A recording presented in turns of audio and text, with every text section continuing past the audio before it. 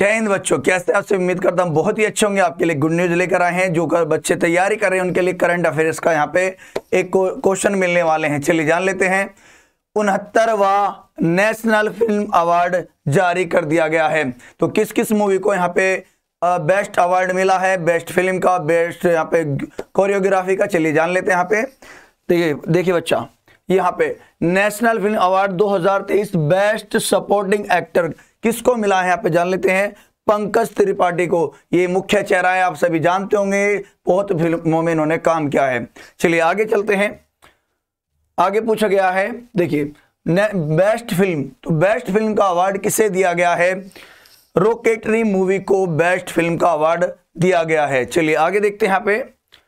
Best director का award किसे दिया गया है 2023 का?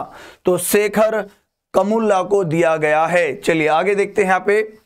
आगे दिया है बच्चा best future film on national integration किसको दिया गया है? तो बच्चा यहाँ पे है, द कश्मीर फ़ाइल। ये बहुत ही चर्चित चर्चित मूवी रही है और यहाँ पे सभी ने देखी भी होगी। चलिए आगे देखते हैं बच्चा बेस्ट हिंदी फ़िल्म तो बेस्ट हिंदी फ़िल्म का अवार्ड किसको दिया गया है?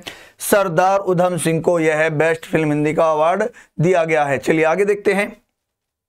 और यहाँ पे देखिए best supporting actress Pallavi Joshi को यह अवार्ड दिया गया है। आगे देखते हैं यहाँ पे, और बेस्ट यहाँ पे देखिए बेस्ट एक्ट्रेस का अवार्ड किसे दिया गया है? कृति सोनन को दिया गया है। किसको? कृति सोनन को यहाँ पे बेस्ट एक्ट्रेस का अवार्ड दिया गया है। आगे देखते हैं यहाँ पे बेस्ट एक्ट्रेस बेस्ट एक्ट्रेस का अवार्ड दिया गया है।